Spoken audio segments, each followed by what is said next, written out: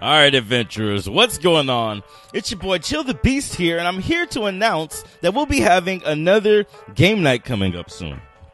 Uh, I like to give a lot of advance notice uh, when game night comes up so that people can do what they need to do to figure out whether or not they can make it to game night. We'll be playing a game on stream together. When I say we, I mean not just me, but you guys as well. You have the opportunity to join in and play a game called Drawful 2 with me.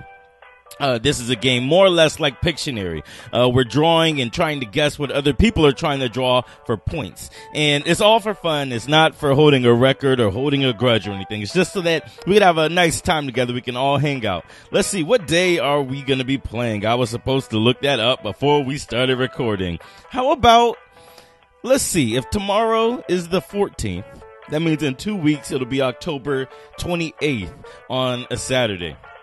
So let's do October 28th, Saturday, October 28th. We'll start playing, uh, let's do 9 o'clock. I can say 9 o'clock.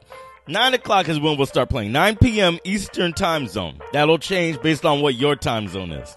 But on Eastern time zone, we'll be doing 9 o'clock p.m. Now, you might be saying, hey, chill, how are we going to play along with you?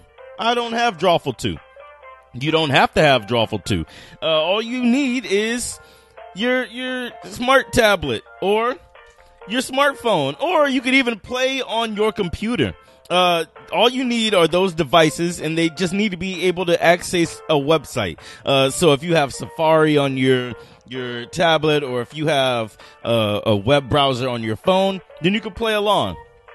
All the information will be in the description below what website you need to be able to access. So what you want to, if you want to go ahead and test that out right now, feel free to do so.